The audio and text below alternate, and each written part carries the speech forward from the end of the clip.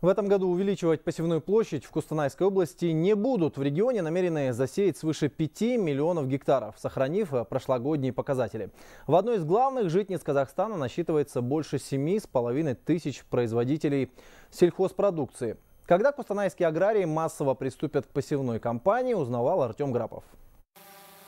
В одном из крупных фермерских хозяйств Карабалыкского района полевые работы начнутся буквально на днях. В этом году почти всю технику обновили. Занимаются здесь в основном семеноводством. Посевная площадь 10 тысяч гектаров. В приоритете зерновые культуры. Подготовка к посевной проходит успешно, хотя есть неприятная особенность. Сорная трава, которая 7 лет не появлялась на полях, заставляет проводить раннюю химическую и механическую обработку. Если по гектарам брать, то это получается 1800 гектаров. Это механическая обработка мы провели бюллерами и диски, дисковыми боронами.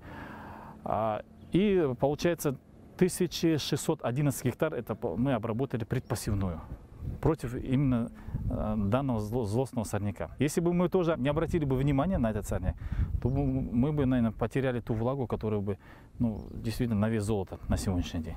Растениеводством в Карабулском районе занимаются 239 крупных и мелких фермерских хозяйств. В этом году засеять они планируют почти 240 тысяч гектаров, в основном зерновыми и зернобобовыми. Шестая часть полей пойдет под масличные культуры. Семенами и топливом, отмечают в районном отделе сельского хозяйства, все аграрии обеспечены. Оптимальные сроки ежегодно меняются, но меняются в пределах трех-пяти дней. Ну, в этом году, вот с 15, я думаю, с 15 мая э, будет э, массовое это по зерновым, зернобобовым культурам уже можно будет выходить смело сеять. А на сегодняшний день я говорю, вот сейчас мы будем э, многолетние травы, э, потом постепенно перейдем на серые культуры и уже на основную культуру это пшеницы. В этом сезоне в Кустанайской области планируют засеять чуть больше 5 миллионов гектаров. Сельхозтехника к проведению посевной, согласно официальным данным, готова. На поля выпустят почти 23 тысячи тракторов, чуть больше тысячи посевных комплексов и 22 тысячи сеялок. Артем Грапов и Сергей Трахтенберг, Кустанайская область, Хабар 24.